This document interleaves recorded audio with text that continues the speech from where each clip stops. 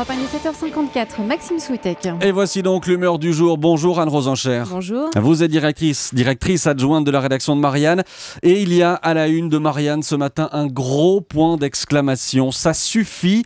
Vous demandez à ce que cesse en France la bataille entre les ultras pro-palestiniens et les ultras pro-israéliens. Oui, c'est un, c'est un coup de gueule en même temps qu'un rappel. euh, optimiste, vous allez le voir à la réalité. Le coup de gueule, d'abord, c'est bien sûr donc contre les excités, euh, que ce soit du côté euh, pro-palestinien ou pro-israélien, euh, qui ici ou, là-bas, en France ou ailleurs, si vous voulez, ne, servent pas la, soif de justice ou de paix, etc., mais se mobilisent uniquement à la faveur des passions qui, qui font déjà assez de dégâts comme ça dans, dans, cette zone. Alors, je vais parvenir sur, sur la situation au Proche-Orient et, sur la tragédie et les dégâts que, que font déjà, que fait déjà ce, ce- ces deux mâchoires d'un même monstre carnassier, pour, euh, pour, euh, pour euh, paraphraser le très bon texte de Jean-François Kahn dans ce Jean-François numéro. Kahn qui signe effectivement l'édito. Euh, mais, mais en France aussi, si vous voulez, on n'entend que, on entend que les pyromanes qui essayent d'exciter, d'enflammer le débat euh, et qui polluent. Et, et partout, maintenant, on se laisse un petit peu avoir, on s'invective, on se méfie.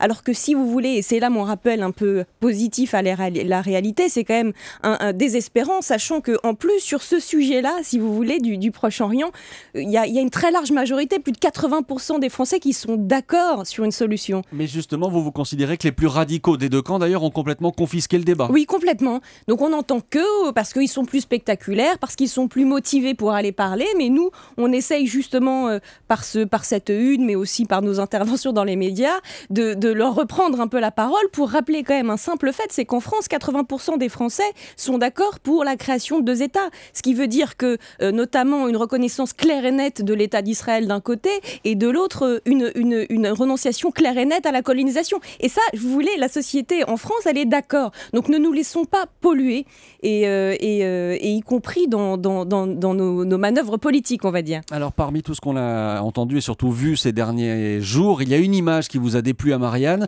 C'est quand on a réuni à l'Élysée les autorités religieuses, juives et musulmanes. Pourquoi Oui. est-ce que ça vous a déplu cette image-là ça, nous a pas déplu dans le sens où bien sûr que c'est un beau symbole et, et que ça fait plaisir à voir cet appel au calme collectif. Mais nous, ce que l'on dit, c'est ne cédons pas, si vous voulez, à l'identitarisation de, de, de, cette, de ce débat en France et ne, et, ne, et ne jouons pas le jeu de ceux qui voudraient faire croire que euh, derrière la citoyenneté française, euh, il y aurait des appartenances qui justifieraient les passions. Le conflit au Proche-Orient est un, est un sujet de politique euh, internationale, étrangère, et le, ce qui se passe en France, notamment avec les débordements antisémites et les abjections antisémites que l'on a vu apparaître dans certaines rues de France et, sur Internet, c'est un, un sujet de politique intérieure dont la République doit se, se saisir sans en faire appel, si vous voulez, sur le perron de l'Élysée aux imams et aux rabbins, parce que c'est une façon de cléricaliser le, le débat.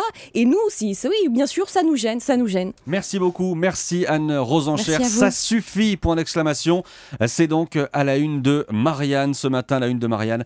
La voici, je la montre pour ceux qui nous suivent sur Internet notamment. Merci à vous Anne Rosencher d'être venue en direct ce matin sur Europe 1.